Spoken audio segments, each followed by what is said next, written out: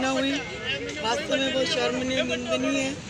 गहलोत सरकार के अंदर, जब से ये अशोक गहलोत की सरकार आई है, आप दिन गिने और घटनाएँ गिने आए दिन कोई ना कोई घटनाएँ हो रही है। महिलाएँ हमारी सुरक्षित नहीं है। किस प्रकार से पुलिस की गश्त और जो रहती है, थाना पास में है, इतने थाने, इतनी पुलिस गश्त, इतना होने के बावजूद भी अगर महिलाओं का इस प्रकार का व्यवहार होता है तो हम सोचते हैं कि गहलोत सरकार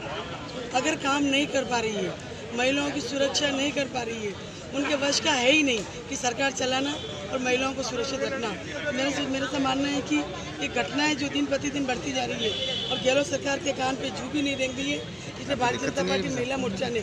आज ये ज्ञापन दिया है कलेक्टर साहब को और एसपी साहब को और उनको चेतावनी दी है कि अगर दो दिन के अंदर जो ये कुकृत्य इन बदमाशों ने किया है इनको नहीं पकड़ा